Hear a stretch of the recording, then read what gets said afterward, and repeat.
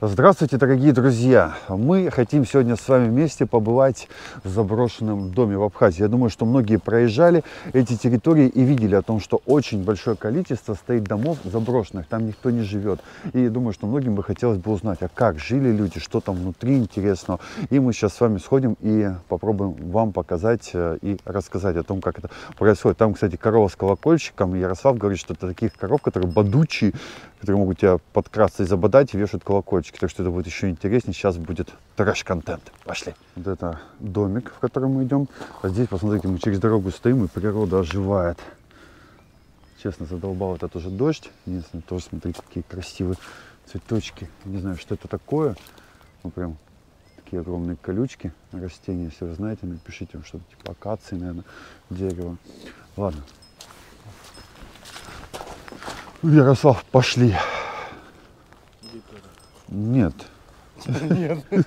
Я оператор, извини. Ну, да ладно тебе. Посмотрите, очень много домов. Вот э, стоит, э, допустим, домик, причем по таких красивых построек, да. Тут видно, что никто не живет, никто не ходит. Коровы, он нас смотрит, «Ой, кто ты. Причем везде заборчики. То есть э, когда-то здесь, наверное, жили очень зажиточные люди. Двухэтажный дом. То есть это такие особняки, можно сказать. Вот, посмотрите, тут целый э, огород, лес. Тут еще что-то было, наверное, типа веранды, постройка какая-то. Ой, тут, правда, вода везде стоит, эти дожди уже прям задолбали всех. А здесь мочак, море 100 метров отсюда. Ну ладно, не 100, пускай 500. Слышно, что море. Да, слышно, что море. То есть это дома на берегу.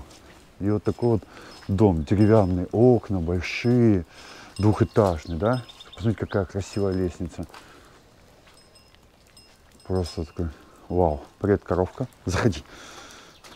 Надеюсь, нас не поругают. Есть кто дома?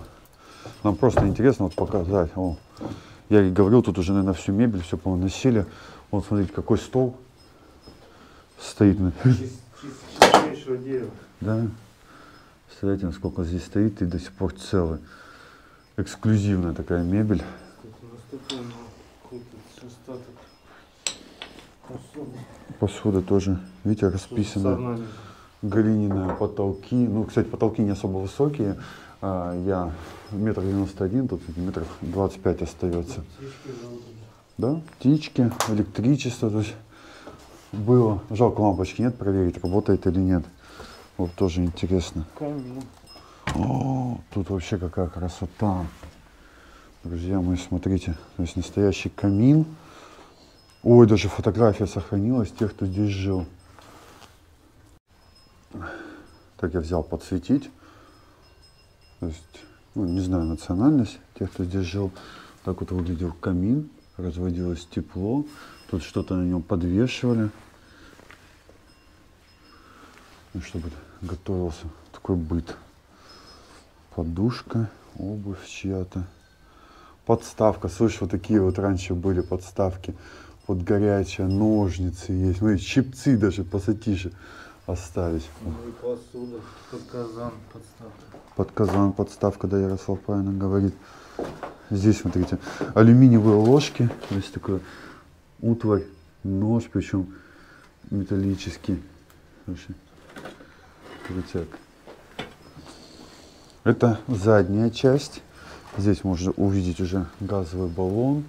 Ну, участок, честно, не знаю, насколько он был большой. Тут еще что-то вот на ножках какой-то дом стоял. И здесь тоже второй этаж, и можно видеть, что там можно было выйти посидеть. И это как навес служило для выхода отсюда. Тут, кстати, дверь выбили. С этой стороны, смотрите, вот это вход, э, столик, диван, кровать металлическая. Тоже розетки.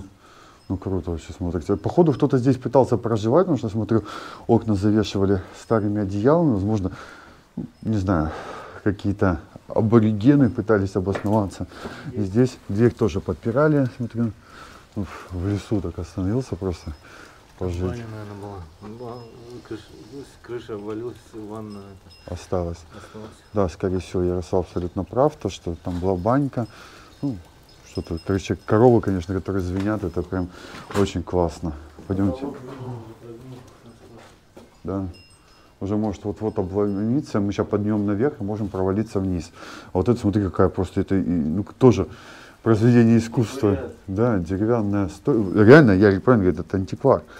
То есть, э, вообще, класс. А может быть, где-то здесь еще и сокровища какие-то спрятаны. Прятали. Так, коровка.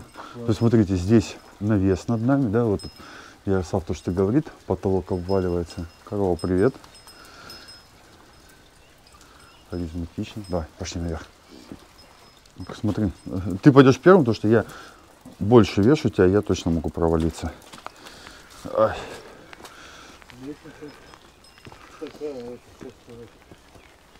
Добротная. Да. Интересно, здесь дверки будут открыты или нет? Если закрыто, то мы не пойдем.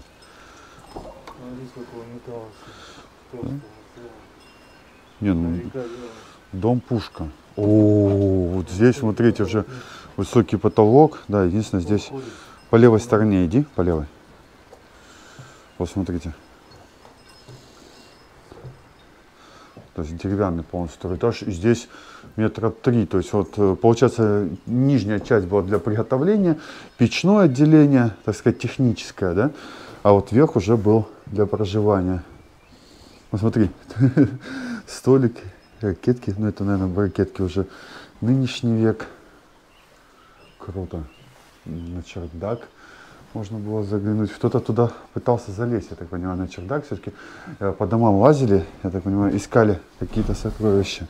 О, а здесь натянули кровати, и кто-то проживал с таким вот шикарным видом. Посмотрите, какой вид из окна. Просто газон. Я вот поражаюсь о прямоте всех этих участков. Выглядит просто вау. Шкаф. Здесь еще одна комната. Тут можно было подтопить печку, я так понимаю, либо почистить. Честно говоря, тут пол провален, и вход в ту комнату отсюда тоже был. И здесь можно, кстати, на чердак. Жалко, разрушаются все эти, ну, крутые домишки. Прям очень-очень жалко.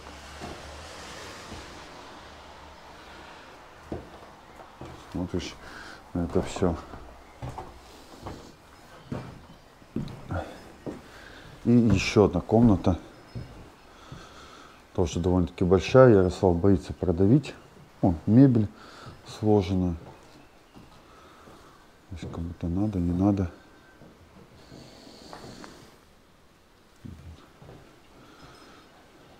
Большая комната, такая светлая, на самом деле. У нас, а ну, клацание электричество. Прикинь, такой вот свет загорелся. Не, не загорелся.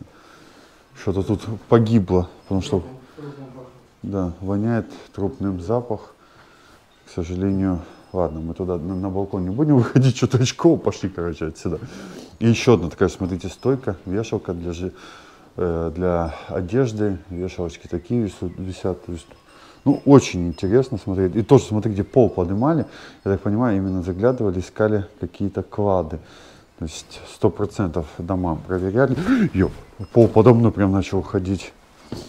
Интересно? Интересно. Ну, ребятки, надеюсь, что вам обзорчик э, зашел на вот такой вот дом. Э, пишите, как вы думаете, кто здесь жил по фотографии. Просто я не умею в национальностях вот, по виду определяться.